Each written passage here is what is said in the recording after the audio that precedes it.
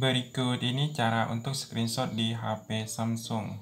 Jadi HP Samsung sekarang sudah ada tombol virtual untuk screenshot. Jadi kalau tombol power rusak bisa kita pakai cara lain. Biasanya kan kita screenshot pakai tombol power, kemudian tombol volume bawah ditekan bersamaan. Seperti ini. Nah, itu mengambil screenshot juga. Kemudian kalau kalian yang mungkin menggunakan Samsung yang pakai One UI 5 itu ada fitur screenshot. Tapi tidak semua HP Samsung ada fitur ini. Jadi kalau kalian cek di HP-nya itu tidak ada fitur berarti tidak support. Caranya buka pengaturan.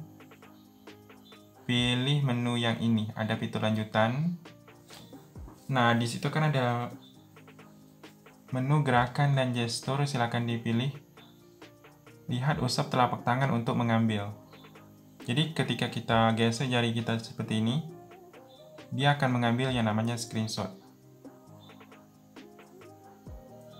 Cuman harus sensitif pas kita mengusap layar.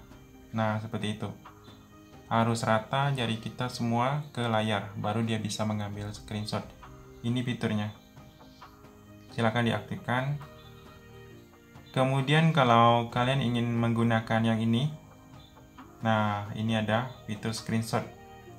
Di bagian ini dan bagian tampilan, pilih panel Edge yang ini. Panel Edge ini diaktifkan, pilih panelnya di sini. Nah, saya pilih yang pilihan cerdas, kemudian tugas. Jadi kalau kita pilih edit, di sini saya ambil yang ini, gambar layar saya. Dia bisa ditempatkan apa pun di sini. Edit, Nah, di sini bisa kita tambahkan sebenarnya. Itu untuk melihat album langsung kalau misalnya di sini nah, ini bisa kita tambahkan, bisa kita kurangi. Kemudian setelah kalian pilih, di sini kan bisa kita gulir. Nah, persegi panjang, ambil screenshot, itu juga sama.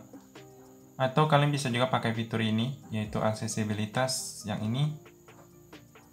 Pilih interaksi dan kecekatan, pilih menu asisten. Nah, saya pakai yang ini, pilih izinkan. Dia ada satu tombol melayang di sini. Kalau kita ketuk ngambil screenshot, kita bisa pilih itemnya di sini.